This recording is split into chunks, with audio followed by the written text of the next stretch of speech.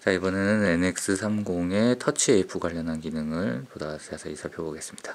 터치 AF는 차량 메뉴 중간에 위치하는데요.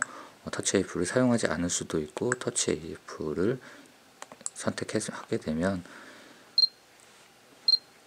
초점을 터치시킨 곳에 바로 이용을 하는 그런 상태가 되겠습니다. 그래서 초점 이용과 함께 셔터는 어, 셔터 버튼을 통해서 이용하는 그런 상태가 되겠고요. 두 번째 AF 포인트는 AF 측가점 포인트만을 어, 빠르게 이용할 수 있는 그런 기능이 되겠습니다. 일반적인 차량에서 왼손으로 측가점을 변경시키고 오른손으로 셔터를 누르게 되면 상당히 빠른 형태로 측가점을 이동시킬 수 있는 그런 장점을 가지고 있습니다.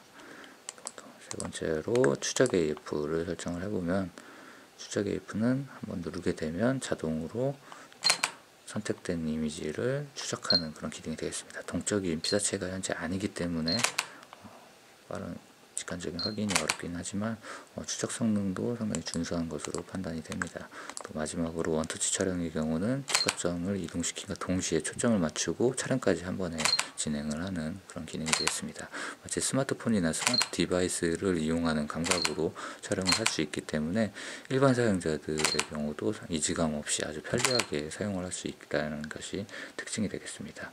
그래서 이런 부분들이 터치만으로도 촬영이 가능하고 기존 조작 체계와 연동시켜서 사용할 수 있다는 점에서 어, AF 활용 편의성에 높은 점수를 줄 수가 있겠습니다.